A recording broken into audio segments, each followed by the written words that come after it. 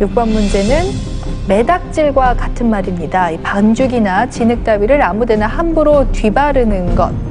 정신을 잃고 아무렇게나 하는 몸짓. 뭘까요? 매치기. 매치기. 매치기. 아닙니다. 네, 매치기가 아니었습니다. 정답은요, 매대기였습니다. 매대기 쉽지 않은 단어였는데요.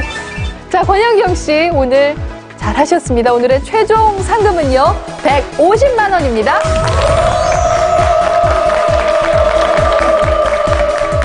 팔번은 별음질입니다. 길에 맞춰 여러 몫으로 고르게 나눠주는 일. 9번은요, 모질음이에요. 모질음. 잘 참아 견디어내는 힘 모질음이고요. 10번 문제. 저 다시 푸시면은 알 수 있을 것 같은데.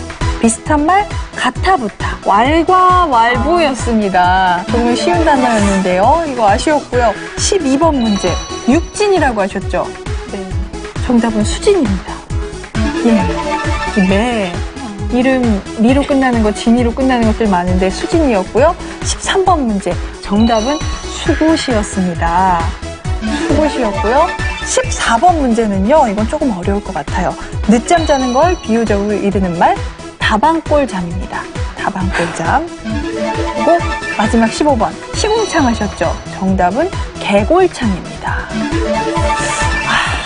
아, 안타깝습니다. 네. 하지만요 오늘 정말 잘하셨거든요.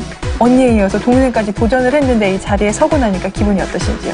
어, 저도 그때 언니가 했을 때 되게 쉬워 보였는데 네. 제가 하니까 되게 어려운 것 같아요.